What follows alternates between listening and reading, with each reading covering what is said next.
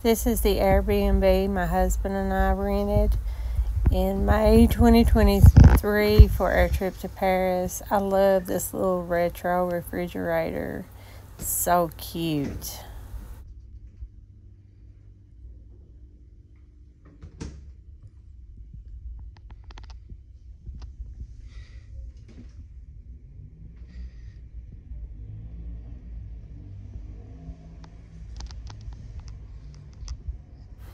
If you're going to Paris, keep in mind that not all places have air conditioning, not all places have elevators. If these are things that are important to you, make sure the place that you book has those.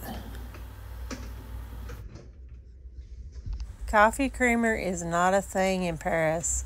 So, luckily for me, there was a Starbucks right down the street.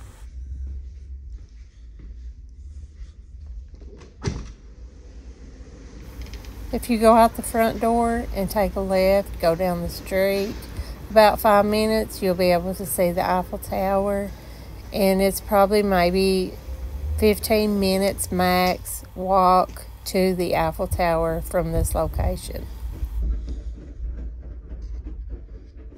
This washer and dryer allowed me to bring less clothing items with me on my trip.